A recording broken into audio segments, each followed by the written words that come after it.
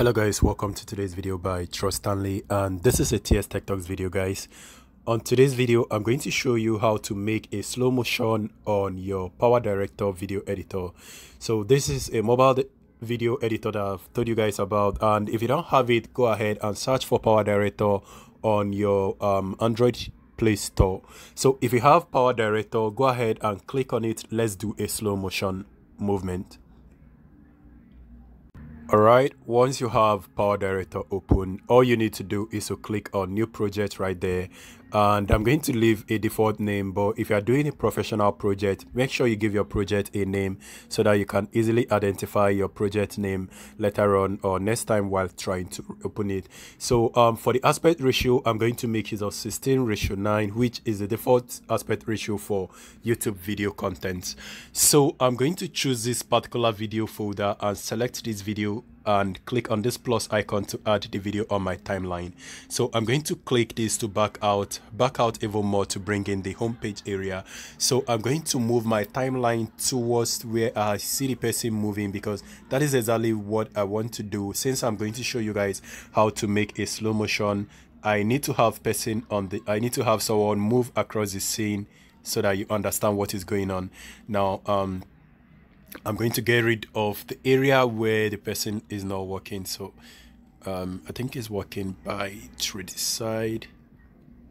Yeah. All right. Um, now I've gotten rid of the place that I don't need. Now let me go ahead and play this video. You see how the person is moving right? Um, although not very fast, but that's cool. So to add a slow motion, all you need to do, let me go ahead and click on the video, click on the video on your timeline and click click on this pencil icon on the bottom area. It's going to display some um, features for you right here. You notice where it says speed right? Click on speed. And then um, you notice on the left hand area of the property section just um, beside the previous screen there is this one um, sorry I double clicked on something else. There is this 1.00x, right? That is actually the speed that the video is playing on. And on default or the normal speed is playing on 1.00x. So in order for you to make a slow motion, you have to reduce it. Reduce it um, till um, you're satisfied with the motion of the video. Now let's test this out. And if you're not satisfied, we do another one. You see how it's moving, right? So if for some reason this slow motion is not good enough or not satisfactory enough for what you want to do, go ahead and reduce even further and then play the video. Alright, so for some reason, if you are satisfied, leave that. If you are not satisfied, reduce it even further to the last end and then play it and you see how it goes.